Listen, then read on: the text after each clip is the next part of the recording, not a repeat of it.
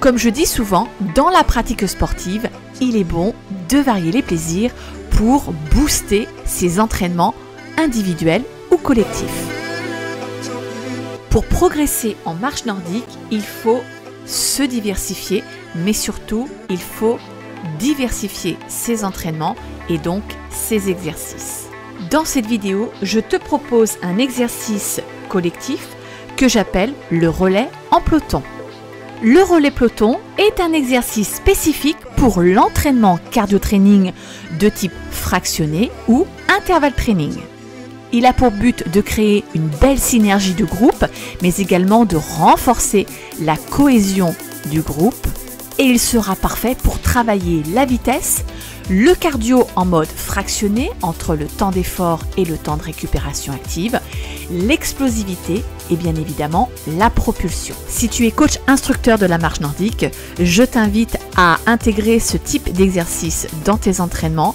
Tes élèves vont être ravis de cet exercice et surtout, ils vont pouvoir améliorer certains points dans leur pratique et dans leur technique. Et pour un meilleur coaching, je te propose de le faire avec eux Sauf que dans cette vidéo, j'ai dû moi-même prendre la vidéo, donc je ne suis pas avec mes élèves, mais le fait d'être avec ces élèves te permettra d'avoir un meilleur coaching, des meilleures corrections, une meilleure interaction, et surtout, bah, tu es le rôle modèle de cet exercice. Alors c'est parti, on démarre la vidéo.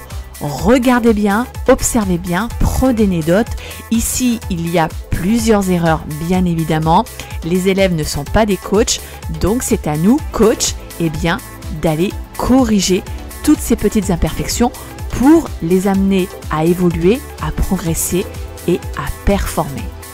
Un coach n'est pas non plus un dictateur, il doit créer une belle synergie de groupe, du plaisir et surtout du fun. Donc lâcher prise aussi sur trop technique, tu la technique, laissez-les dans le flow de cet exercice et vous verrez, ils auront le smile. Et bien sûr, on félicite, on félicite, on récompense, on félicite et c'est du gagnant-gagnant. Allez, c'est parti, on déroule la vidéo.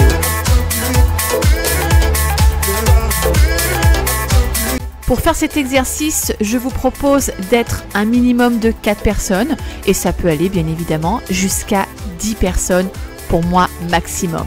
Commencez par vous mettre en ligne les uns derrière les autres avec à peu près 1m50 d'écart entre chaque participant. Dans cette vidéo, on observe un trop grand écart entre Raymond et Cathy en t-shirt blanc. La ligne de droite sera toujours celle qui est en mode récupération active, donc en mode plutôt lente, et la ligne de gauche, donc celle qui double, sera toujours en mode sprint pour gagner de la vitesse. Attention à toujours respecter l'écart entre chaque participant. La personne qui double et qui est en tête de peloton, il faut absolument qu'elle attaque au niveau de la marche, donc qu'elle soit vraiment dans la propulsion et dans la vitesse, donc dans la rapidité, pour que la personne qui suit derrière puisse elle aussi être à son rythme. La personne qui double et qui est en tête de peloton devra se rabattre sur la ligne de droite et ralentir pour récupérer de manière active.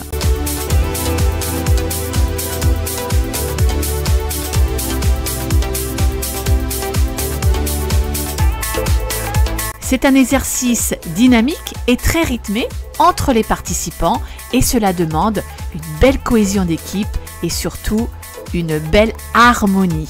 Dans cette vidéo, il y a plein d'imperfections et beaucoup d'incohérences entre ce que je dis et ce que l'on voit, mais l'important de cette vidéo, qui est aussi une vidéo pédagogique, c'est de mettre en avant les points forts, les points faibles et d'apporter des solutions pour augmenter et performer le geste technique. Je ne vais pas ici détailler point par point toutes les imperfections techniques parce que y a à dire.